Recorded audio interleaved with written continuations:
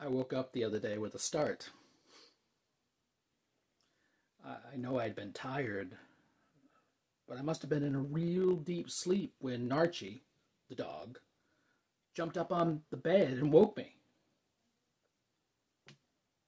I'd been dreaming of Mum and I walking up the Welsh hills, climbing the stone walls.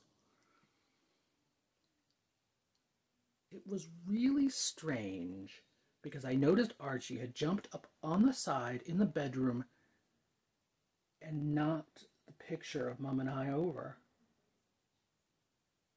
I had woken as I reached out with my hand to help Mum over the stile as she fell back. I realized that this was weirdly the same time as the photo taken on that day fell to the floor.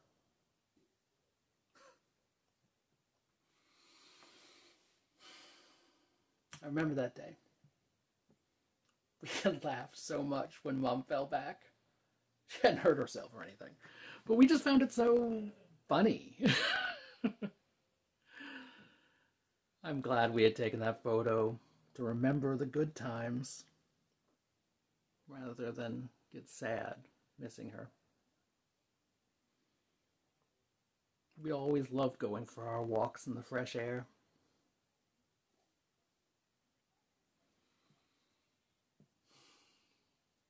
Miss her so much, and I haven't even had the time to register the reality of the whole thing yet. Still a bit raw. People have been really nice, but you know when they just don't know what to say? It's awkward and hard to deal with. I know they care. It certainly held Mum in high regard. Then yesterday, I was driving back from work and saw a blue Skoda. Nothing strange about that, you might think. But I am sure it was a sign. Seriously, the woman driving what looked like Mum's car looked just like my mum. It was as if she was alive and driving down the road. I, I believe I actually saw her to see her there, to see her there in my mirror was breathtaking. My heart was in my mouth. One minute she was there, and then she wasn't.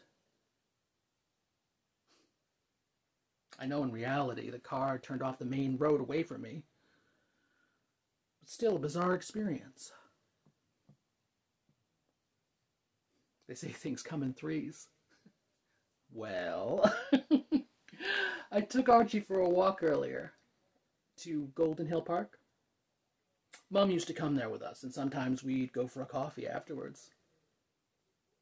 It's a bit dull, a little cold. It's not been raining.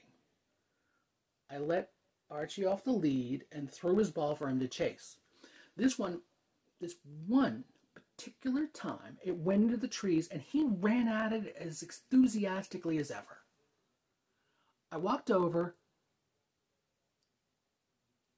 and couldn't believe what I saw.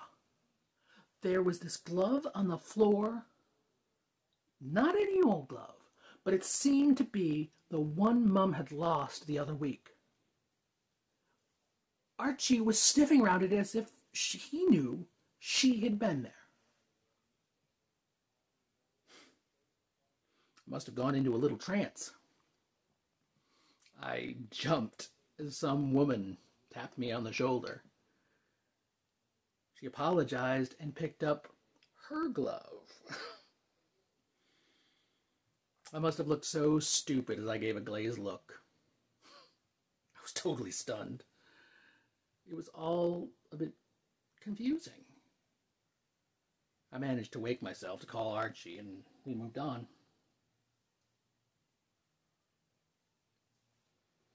Well, I am home now, and only just summoned up enough energy to make a brew.